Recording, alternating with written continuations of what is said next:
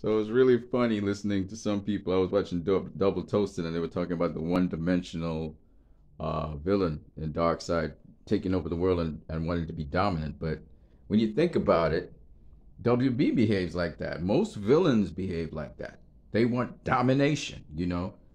And I get, I get Thanos. I get it. I get it. But the way how Darkseid is presented, the intent. I'm, I'm just gonna now First of all, I'm not Ray Porter, okay?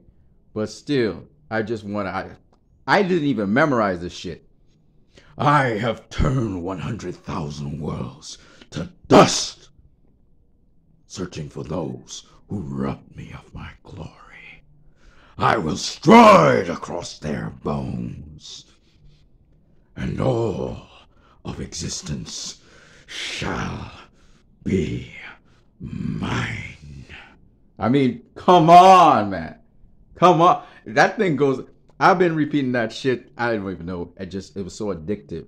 Ray Porter, hats off to you, man. You just uh, you killed it. You killed it. When I was watching it, and you know how he says the anti-life equation. You are intimidated. You feel the dread. You feel the vitriol. You feel the venom. You feel the intent for absolute power that this person is a black hole, he's a vacuum. Everything must serve him, everything must be subservient to him.